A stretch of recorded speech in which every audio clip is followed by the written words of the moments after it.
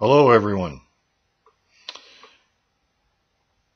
I'm hoping to place more emphasis on videos which demonstrate how the Trinity violates Scripture. It directly contradicts Scripture.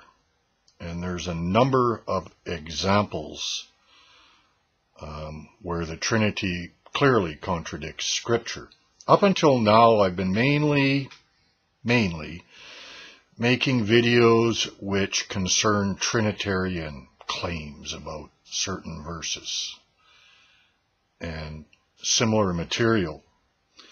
But now I'm, I'm going to try to shift the emphasis a little bit um, and emphasize more on how the doctrine of the Trinity is in direct contradiction with Scripture. I'm still going to make some of those other videos from time to time. Um, you know, as time permits and as the Lord wills. So let's just get into one very clear contradiction between the Trinity and the Bible. First, I just want to take a look here at Exodus 34. When Moses finished speaking to them, he put a veil over his face, but whenever he entered the presence of the Lord, Yahweh, to speak with him, he removed the veil until he came out. And when he came out and told the Israelites what he had been commanded, they saw that his face was radiant.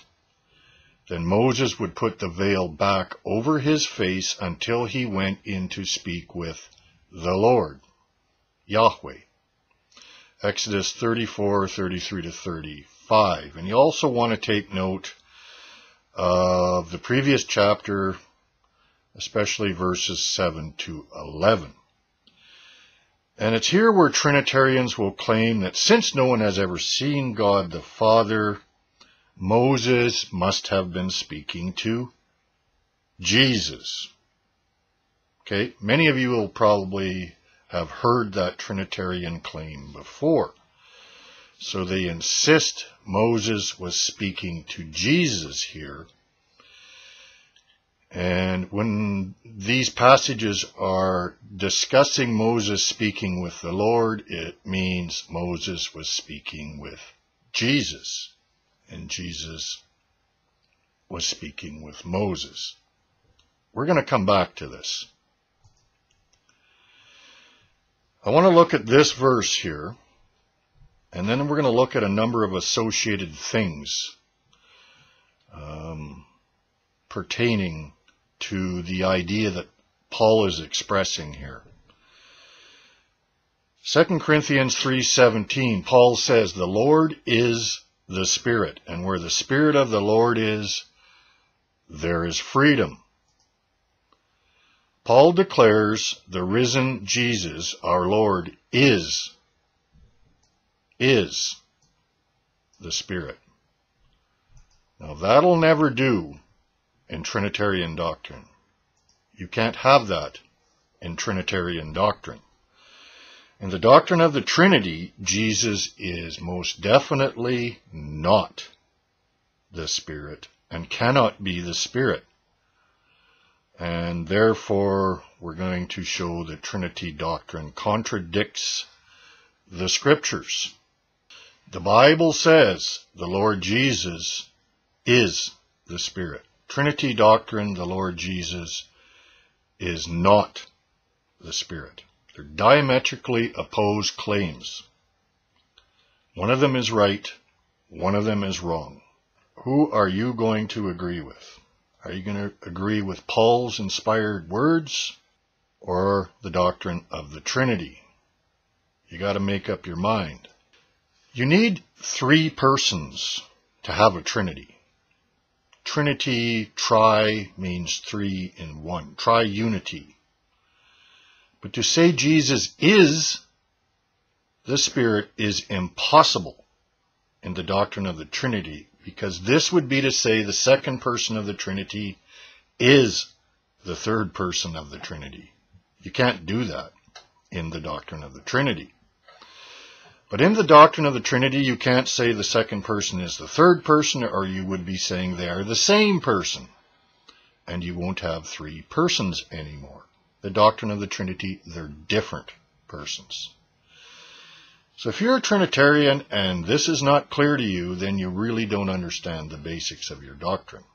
In the doctrine of the Trinity, the second person of the Trinity is not the third person of the Trinity and can't be, or you won't have three persons anymore. And if you don't have three persons, you don't have a Trinity.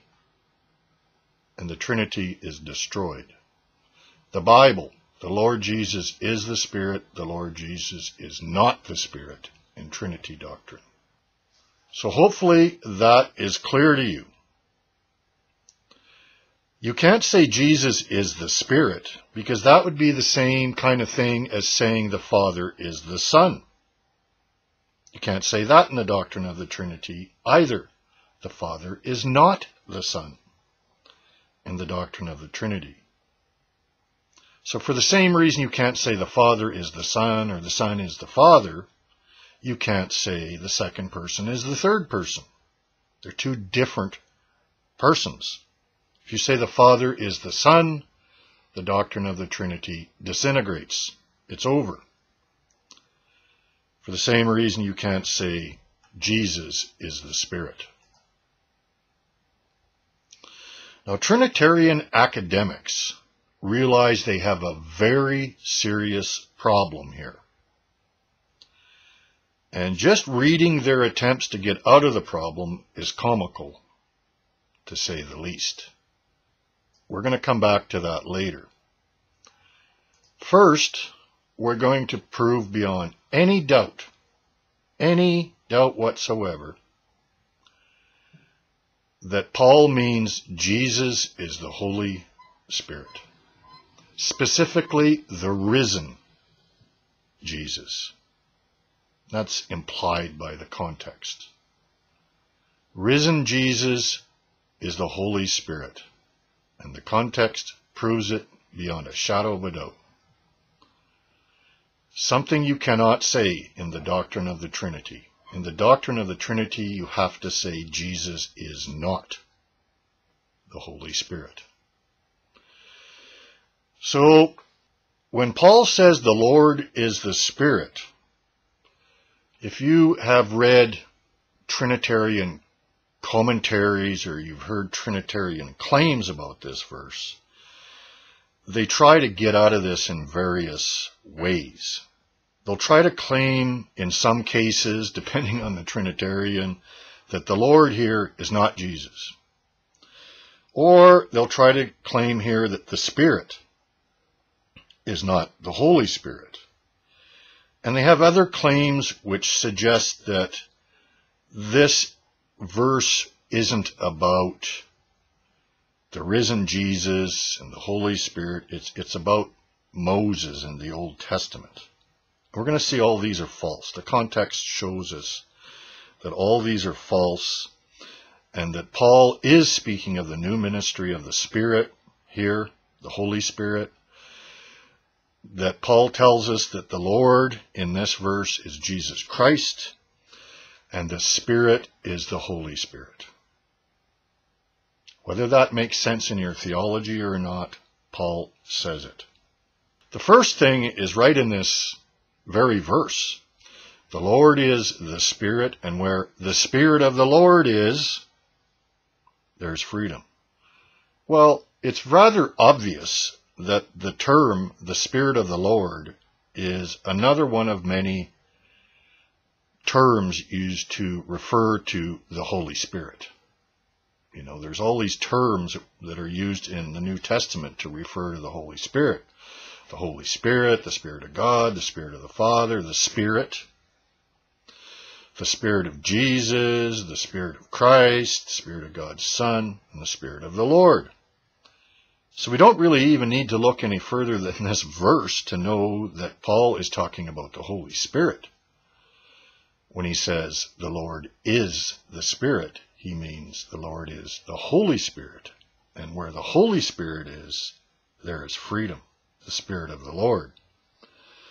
But there's much more evidence than just that. The preceding context tells us clearly that Paul has been contrasting the old ministry of the law, a ministry of death, with the new ministry of the Holy Spirit, a ministry of life. This tells us that the Spirit that he's talking about at verse 317 is the Holy Spirit. The Lord is the Spirit, the Holy Spirit that I have been talking about. So I've posted on this slide um, the entire preceding context, almost. I've abbreviated a little bit. As you can see, the text is going to be kind of small, but I, I wanted you to see the whole thing in its entirety so you can see this clearly. You can, you know, expand your screen to full screen or whatever, or just follow along in your Bible or just read it yourself. It's very obvious that Paul is talking about the new ministry of the Holy Spirit that believers have as a result of the outpouring of God's Spirit at Pentecost. And so Paul says here at 2 Corinthians 3, You are our letter, written not with ink, but with the Spirit of the living God. Obviously, the Holy Spirit. Not on tablets of stone. Okay, he's referring to the law there. And throughout this, context, he's going to be contrasting the old ministry of the law with the new ministry of the Spirit. Not on tablets of stone, but on tablets of human hearts, where the Holy Spirit indwells us. Paul says something similar in Romans 5 about the Holy Spirit being poured into our hearts.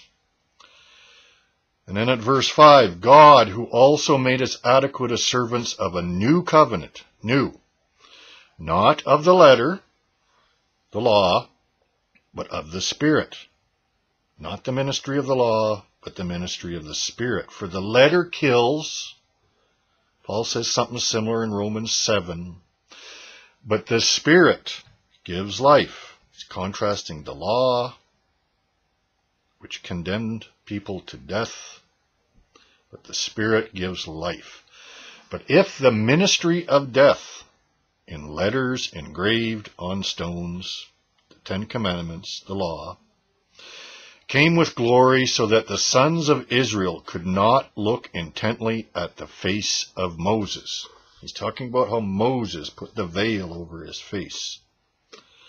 Because of the glory of his face, fading as it was, how will the ministry of the Spirit fail to be even more with glory? So Paul is explaining how the ministry, the new ministry of the Spirit is with much more glory than the old ministry of the law. For if the ministry of condemnation, the law, has glory, much more does the ministry of righteousness abound in glory, the ministry of the Spirit. For indeed, what had glory in this case has no glory because of the glory that surpasses it. So the, the glory of the old pales in comparison to the glory of the new. For if that which fades away was with glory, much more that which remains is in glory. The old law versus the new ministry of the Spirit. Therefore, having such a hope, we use great boldness in our speech and are not like Moses. So, believers in the ministry of the Spirit, it's not like it was with Moses, where he veiled his face, who used to put a veil over his face so that the sons of Israel would not look intently at the end of what was fading away but their minds were hardened, the Israelites of old. For until this very day, at the reading of the Old Covenant, he's talking about the Jews now, in his current time, the same veil remains unlifted because it is removed in Christ. They have to become Christians for the veil to be removed. But to this day, whenever Moses is read, a veil lies over their heart. But whenever a person turns to the Lord, the veil is taken away.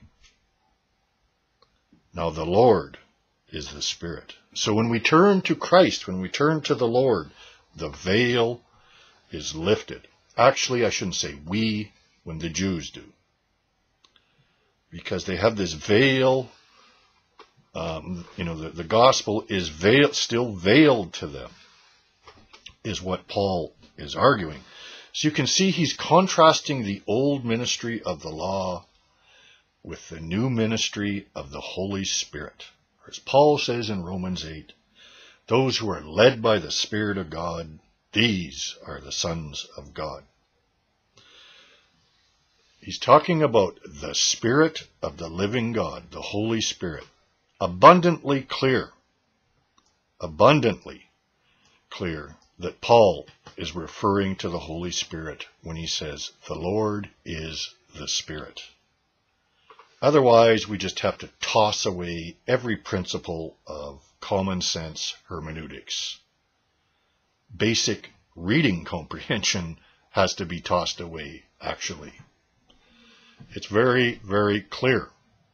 So we know the Spirit is the Holy Spirit in verse 317. And so Paul has been co contrasting the old ministry of the law, a ministry of death, with the new ministry of the Holy Spirit, a ministry of life, because the Spirit gives life. And the law condemns us as sinners, or condemns the Jew under the law as sinners, as he explains in Romans 7. The context shows us beyond doubt that the Spirit at verse 317 is the Holy Spirit. Every reasonable person, I'm sure, can see that. The unreasonable, it all depends what they want to do with it, I guess. The Lord is the Holy Spirit. We know it means that now. And where the Holy Spirit is, there's freedom. Well, we know that's true. Where the Holy Spirit is, there's freedom. That's what we're taught in the New Testament. So we know Paul is talking about the Holy Spirit here in verse 317 when he says the Lord is the Spirit. So now we know that. Let's have a look at what Paul is talking about in 317 in, in general. Take a look at how Paul was talking about, you know, the whole veil thing and how the veil is over the Jews. It's over their face. They, they're, they're, they're blinded. They can't see. But the veil is lifted in Christ. There's no chapter and verse divisions in Paul's original writings. You know, men chopped that up and added that later. And so you, when you read you know, chapter 3 into chapter 4, you'll see that Paul is still on the same subject. He hasn't changed the subject. When Paul wrote his letters, it was just like a, a, long stream of letters with no paragraph indentations, no capital letters, no periods, not even any spaces. And so if you look down at chapter 4 3, he's talking about the gospel. It's veiled. It's veiled to those who are perishing. Well, who is that? That's the Jews who have not yet turned to Christ the same veil lies over their face. They can't see the light of the gospel because, as Paul says in verses 14 and 16, it's only when you turn to Christ, the Lord, that this veil is removed and lifted. Okay?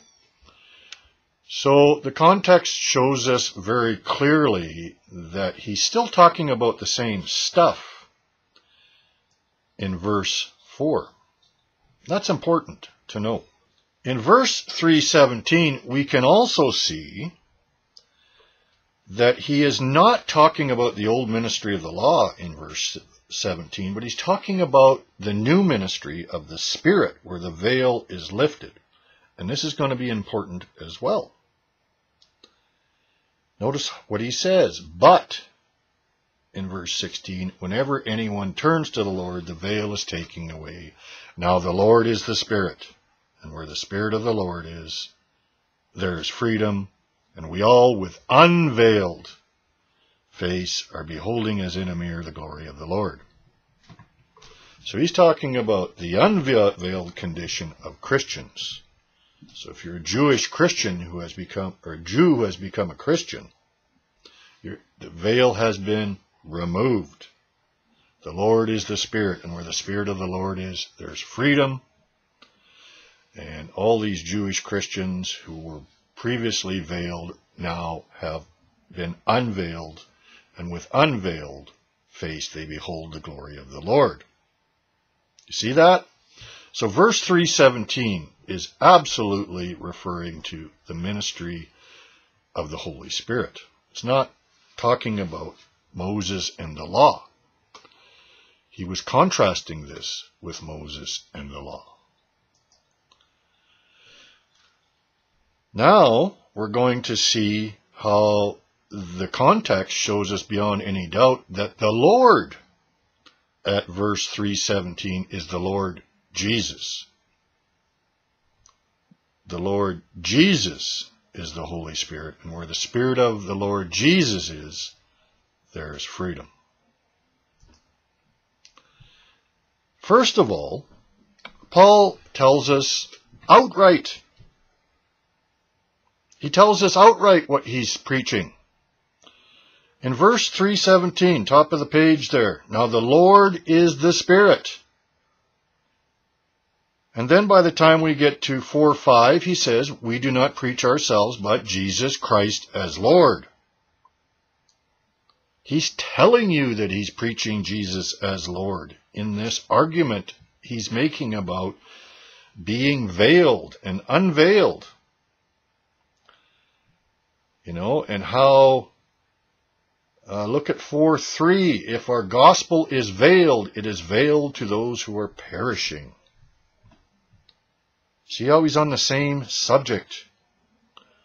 Jesus Christ is this Lord that he's preaching at 2 Corinthians 3.17. We already know, if we're understanding what Paul is saying, just by basic reading comprehension, that Paul is referring to the Lord Jesus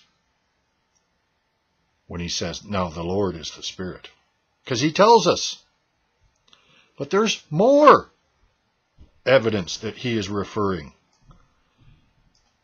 to Jesus as the Lord. Take a look at verses 14 and 16. The veil has not been removed because only in Christ is the veil taken away. Even to this day, when Moses is read, a veil covers their hearts. Okay, that's the Jews, but not the Christians. The veil is taken away. But when anyone turns to the Lord, the veil is taken away. Compare those two verses, verses 14 and 16. Only in Christ is the veil taken away. Verse 16, when anyone turns to the Lord. This is basic hermeneutics, Bible interpretation. Paul is telling you here who he means by the Lord in verse 16 when he says Christ in verse 14. The veil is removed or taken away in Christ. Verse 16, when you turn to the Lord, that is Christ, the veil is taken away. Now the Lord, or Christ, is the Spirit. Verse 17. And there's more. Compare these two verses carefully verses 14 and 16. Very clear that Paul is referring to Jesus Christ in verse 17 when he says, The Lord is the Spirit. And compare that in its entire context. Christ, the Lord. The veil is taken away when one turns to Christ or the Lord, depending on which verse you're reading, verse 14 or 16. He is preaching Jesus Christ as Lord.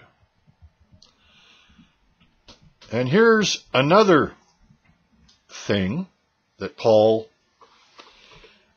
does that tells us he is referring to Jesus Christ as Lord in verse 317. Notice how he's talking about the glory of the old verses, the surpassing glory of the new ministry of the Spirit. And I won't read this. You can read this yourself if you want. But glory is on Paul's mind and the surpassing glory of the new ministry of the Spirit when one is in Christ. Compare verse 318 with verse 4.3. Or verse 4.4, pardon me. Notice what he says. But we all, with unveiled face, beholding as in a mirror the glory of the Lord. Who is that? Paul tells us again so that they cannot see the light of the gospel of the glory of Christ. Again, he's talking about how the Jews who are not yet Christians can't see the gospel of the glory of Christ, like the people can in verse 18, the glory of the Lord. It's Christ. Very, very obvious here. There's so much evidence that he is talking about Jesus that is just overwhelming.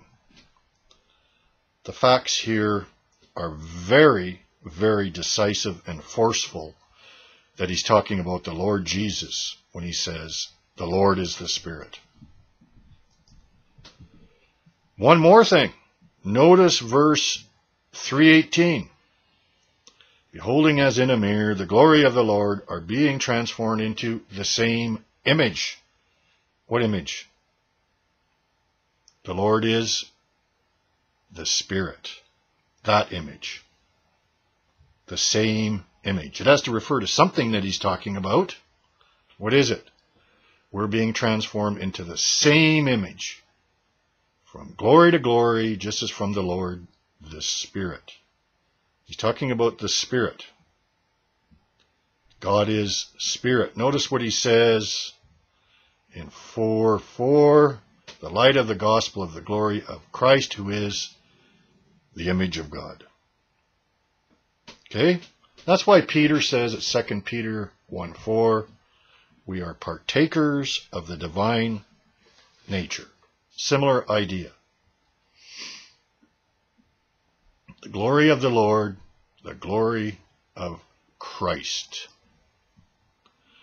So there's quite a bit of information there that tells you plainly what Paul has in mind at 2 Corinthians 3:17 when he uses the term the Lord. It's undoubtedly referring to the Lord Jesus. And he comes right out and says so. Jesus Christ as Lord. That's what I'm preaching. Very, very forceful, the facts here. It's just unavoidable. So the context forcefully demonstrates the Spirit is the Holy Spirit in this verse. The Lord is the Holy Spirit. The context also forcefully demonstrates the Lord is Jesus more specifically, the risen Jesus. The Lord Jesus Christ is the Holy Spirit. That's not going to work in Trinitarian doctrine. It doesn't make any sense whatsoever in, in Trinitarian doctrine. Since Jesus and the Spirit are two different persons in the Trinity, and Lord Jesus is not the Spirit in the doctrine of the Trinity. The doctrine of the Trinity contradicts Scripture, and the Trinity is thereby proven to be most certainly false. There's no doubt that Paul is saying Jesus is the Spirit here. It's unavoidable. And it directly contradicts the doctrine of the Trinity. Which one is right? You can't just leave that hanging and ignore it. It's very clear. And you might want to think about these verses. You know, if you're a Trinitarian, you might want to think about these verses in the context of what we're talking about. Ephesians 1:17, the God of our Lord Jesus Christ. Okay? And your own interpretation, if you're a Trinitarian, of 1 Corinthians 8 6. You might want to think about that very careful. You're going to, if you think about it carefully, you're going to realize you've got some bigger problems than you thought.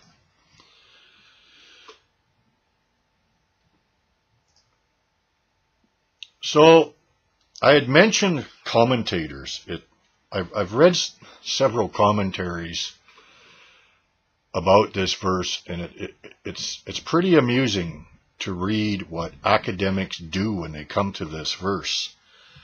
And you can tell they're trying to do all sorts of different things to get out of this, their problem.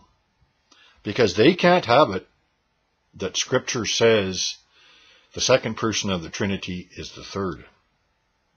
They can't have it because it destroys the Trinity. And so they try they try all kinds of things. Uh, you know, just just watching them, you know, trying all these uh, maneuvers to get out of the problem, um, just tells you something right on the face of it if you think about it. One of the things that some of them try, and they all try different things, is to switch it around and have it say the Spirit is the Lord instead of having it say the Lord is the Spirit. So they kind of switch around what Paul is saying there. And so they have Paul saying, no, the Spirit is the Lord. And that's because in their own head, and it's hard to understand this if you're not a Trinitarian, or if you never have been, that saying the Spirit is the Lord sounds better in their head than saying the Lord is the Spirit. It's kind of like it's, it sounds better in their, their head to say Jesus is God than to say God is Jesus. That doesn't sound as good to them, and there's reasons for that. However, this isn't going to work either, because it doesn't matter if you say the second person of the Trinity is the third person of the Trinity or the third person of the Trinity is the second person of the Trinity. It's not going to work. You got the exact same problem, the exact same predicament. So a second thing that a lot of them will try is to try to rework what Paul meant by the Spirit. And I don't even want to get into all the contraptions they come up with here because it, it's just so weird. Um, you, you, can read about that yourself.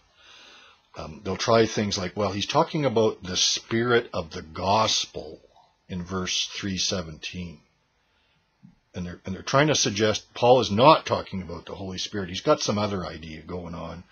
He's talking about preaching, you know, in the spirit of the gospel or some weird thing like that. And they're coming up with these things out of thin air. Um, that's not going to work. We have seen that Paul is talking about the Holy Spirit beyond any doubt. The verse itself tells us he's talking about the Holy Spirit. One of the more favorite ones, and this is the funniest one, and you'll see this one quite commonly, is to try to define the Lord as the Lord in caps, meaning Yahweh or Jehovah. Um, and the Lord in question is the Lord that was speaking to Moses, and that's why Moses had to put this veil on his face. Okay? So you can see why they want to claim that, because Paul has been talking about um, Moses having this veil on his face under the law.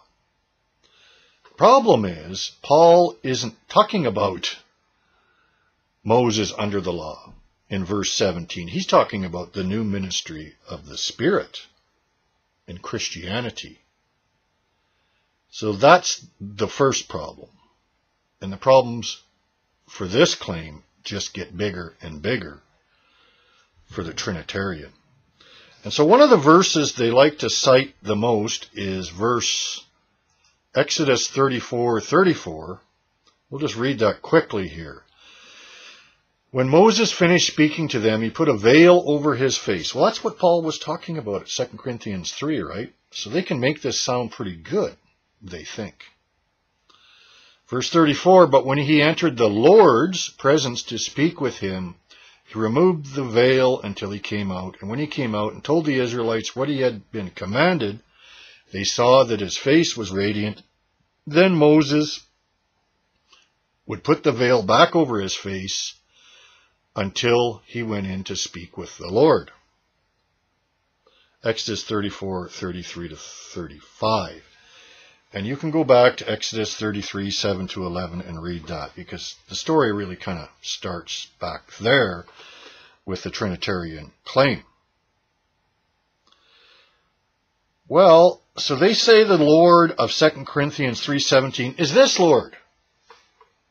Right? And they think that's going to get them out of their problem. But it doesn't get them out of their problem. What are they saying? when they're trying to say the Lord is the Spirit means Yahweh is, are they trying to say the triune God is the Holy Spirit? That's not going to work. That's not true, even in their own doctrine. That's not true. Are they trying to say the Father is the Holy Spirit? Well, that's not going to work any better than saying Jesus is the Holy Spirit. You see how that claim doesn't even work?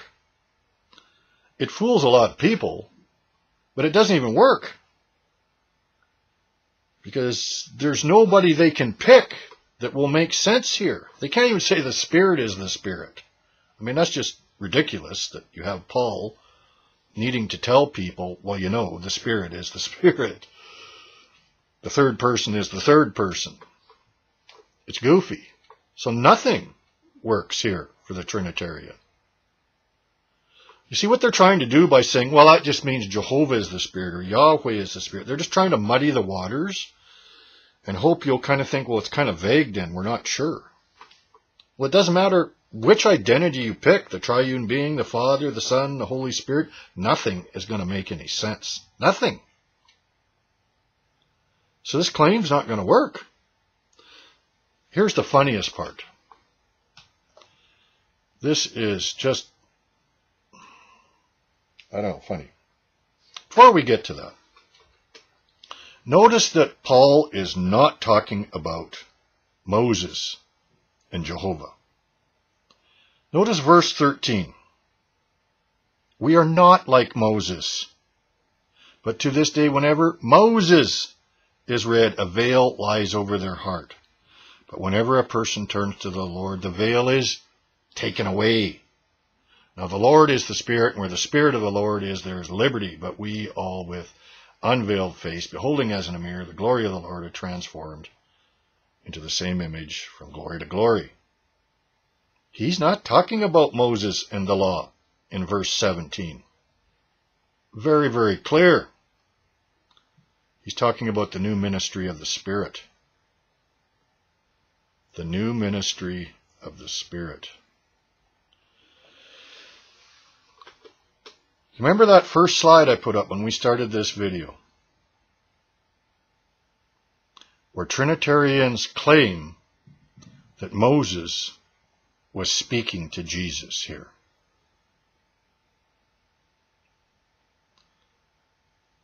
Right? No one has ever seen God the Father. Therefore, at Exodus 33 to 34, Moses was speaking to Jesus. Jesus. It was Jesus. It wasn't the Father. Wasn't the triune being. It was Jesus that Moses was speaking to. That's their claim. Their claim. So on Monday, you can have a Trinitarian tell you that the Lord who spoke to Moses at Exodus 33 to 34 is Jesus. And then on Tuesday, when you're talking about 2 Corinthians 3.17, they'll claim the Lord of that verse is not Jesus, but the Lord who spoke to Moses at Exodus 33 to 34, which on Monday they said was Jesus. See how they're caught in their own lies? They not only contradict Scripture, they're willing to lie like this to get away from Scripture. You can tell how much they care about Scripture, can't you? When you see this sort of thing. They don't care. They'll do anything to nullify Scripture when it does not suit their doctrine, because they love their doctrine more than the truth of God. It's undeniable for reasonable people and honest people that Paul said Jesus is the Holy Spirit, the risen Jesus. He is speaking about the ministry of the Holy Spirit and tells us outright that he is preaching Jesus Christ as Lord. The evidence is decisive, it's forceful. You know, it's, it's about as forceful as it's ever going to get in Bible interpretation. That the Lord of this passage is Jesus Christ. And the same with the Holy Spirit. The Holy Spirit, or the Spirit, Paul mentions, is the Holy Spirit. And the fact that he's talking about the new ministry of the Spirit in this verse is unavoidable. Trinitarian contrivances to try to get out of their contradiction with the Scripture only puts them in another contradiction. They've got no escape. They're caught. They're caught with their hand in the cookie jar. So let's just quickly, I just want to quickly show you some things here related to this. The risen Jesus is the Holy Spirit. That's what Paul is saying. If you think about it, we know Christ dwells in us. How else could Christ dwell in us? Right? Think about that. The Lord is the Spirit. And I'm going to put Spirit in all caps here. You'll see why in a minute. Look at what he says at 1 Corinthians 15:45. Paul is explaining what the resurrection body is like. And he says it's like this. The first man, Adam, became a living soul. The last Adam, life-giving spirit. He's using Jesus as an example of what our resurrection body will be like. Such that he can call it life-giving spirit, a spiritual body. Paul is saying this in reference to Jesus Christ's bodily resurrection. Bodily. Paul, Paul is calling that crucified body, which was resurrected into glory, life-giving spirit. And that's because we're told he was clothed and consumed in the Spirit of God in his resurrection. The two became one, spirit and his body, a new creation. And that's why Paul also says this. Therefore, from now on, we know no one according to the flesh. Remember he says in 1 Corinthians 15, flesh and blood cannot inherit the kingdom of heaven, or kingdom of God. Therefore, from now on, we know no one according to the flesh, though we have known Christ according to the flesh, but now we know him thus. No longer. No longer. The risen Christ is life-giving spirit. And that is being said about his bodily resurrection. I hope I don't have to repeat that. Look at this. In John 20, Peace be with you, just as the Father has sent me, I also send you. This is the risen Jesus. And when he had said this, he breathed on them and said to them, Receive the Holy Spirit. How could he do that if in fact, unless or unless he was that spirit? Remember the doors were locked shut and he just appeared to them? Out of nowhere. How could you do that unless you're spirit? Not a phantom like a ghost. He explains that in Luke 24. But his bodily resurrection, he's got a different kind of body, a new creation, a new kind of humanity. A new kind of humanity, this body. Look at John 14. I'll ask the Father, and he will give you another comforter, that he may be with you forever. That is, the Spirit of truth, whom the world cannot receive because it does not see him or know him, but you know him because he abides with you and will be in you. I will not leave you as orphans. I will come to you. What did he just start off by saying? What was he saying here? I will ask the Father, and he will give you another comforter. Okay, he's telling them they're going to receive the Spirit. And then he says, I will come to you in the same breath. Think about this. I will not leave you as orphans. I will come to you after a little while. The world will no longer see me, but you will see me, as they did in the upper room. Because I live, resurrected, you will live also. In that day, once he's rose again from the dead, you will know I am in my Father, and you in me, and I in you. Thomas knew that at John 20, 28. These things I have spoken to you while abiding with you. In that day, what happened in that day? He meets them in the upper room, breathes on them, and says, Receive the Holy Spirit. See that? The first man, Adam, became a living soul, the last Adam, life giving spirit. That's why we have resurrection life in Jesus Christ, in the risen Christ. The Spirit is life. And that's the whole idea, of the body of Christ. That's where there's life, because his body is clothed in the Holy Spirit of life. And that's why we no longer know him according to flesh. Flesh is just immort, or pardon me, mortal humanity. Jesus is immortal, clothed in the Spirit of God, the Spirit of the living God. And that's why he says at 2 Corinthians 3, 6 to 17. The letter kills, but the Spirit gives life.